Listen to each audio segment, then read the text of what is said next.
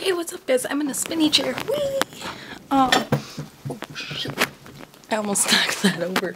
That wouldn't be good for me. Um, so I posted on a few sites and my like page and my personal Facebook that if I got 25 subscribers, I would, by the end of this week, um, I would do a live show. I plan on doing that at some point tomorrow.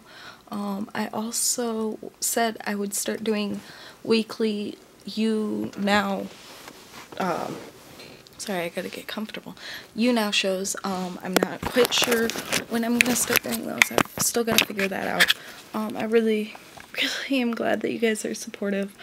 Um, makes me feel really loved, really does. Um, I want to keep that subscribers keep going up. Um, I really like making these videos and I really, really want to kind of hopefully end up being like a film major. I'm to sign up for my classes October 15th. Um, filming, doing this kind of stuff keeps me happy. Um, I've been attacked a few times on my personal Facebook saying that I need to quit and that I suck and everything I do is crap and it makes me feel that, that makes me feel bad but then I think about how supportive my viewers are and it makes me feel really happy and I'm really glad I got you guys. Um, I know I'm looking like crap. I haven't changed. Well, my shirt since yesterday. Um, I've just kind of been lazy. I sleep in this shirt that I wore the day before. I just kind of haven't changed. I've been wearing my pajama pants and the sweatshirt like all day. It was really rainy outside. I was gonna film a video I'm sorry, I'm tired, and it didn't really work out.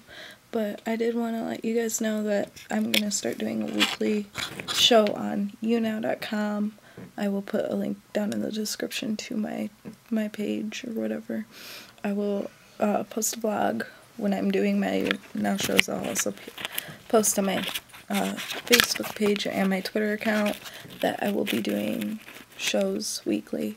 Well, um, when I'm doing my weekly shows. Um, but tomorrow, keep an eye out for my channel because I'm going to be doing a live show at some point. Um, that is a promise. Alright, thank you guys.